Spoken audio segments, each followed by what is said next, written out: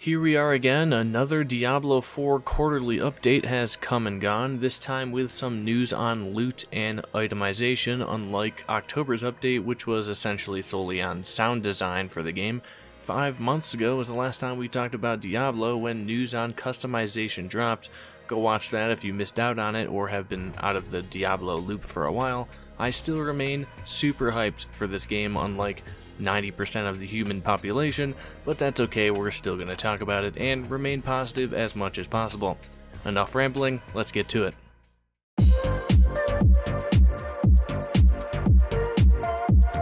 Here's some good news. Plus skill rank affixes are returning for Diablo 4 similar to what was in D2.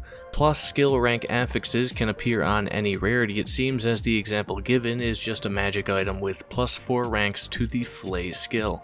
These affixes will make it easier to try new skills before you reach them in any given tree, because even if you don't have a point put into a certain skill, let's say you don't have any points put into Hydra from Diablo 2, wearing a plus Hydra ranks item will just give you that skill, meaning you don't have to invest any of your points into something you're not sure you'll like.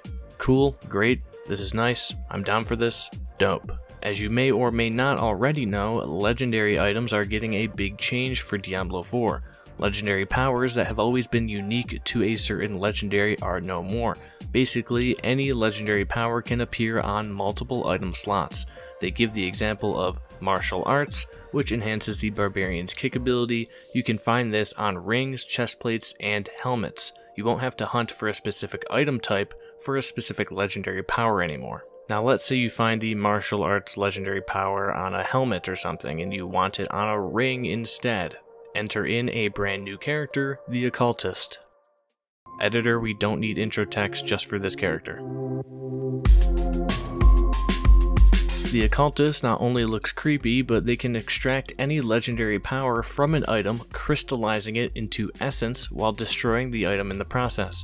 Then you can implant that essence into another legendary item or a rare item. You can also store the essence for later use, and unique items cannot be modified in this way in order to keep their fantasies intact.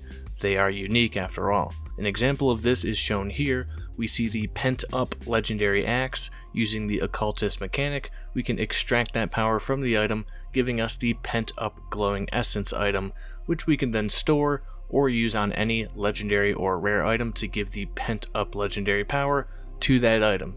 And this example just shows the process of implanting a power onto a rare item, thus turning the rare into a legendary.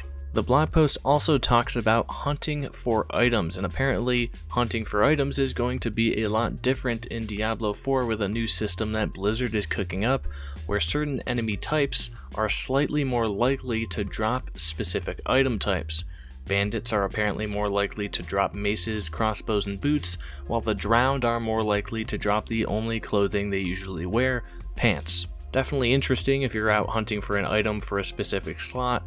Not sure how important this will be in the full game, like are the increased drop chances that noticeable to where it dictates where I go, who I kill?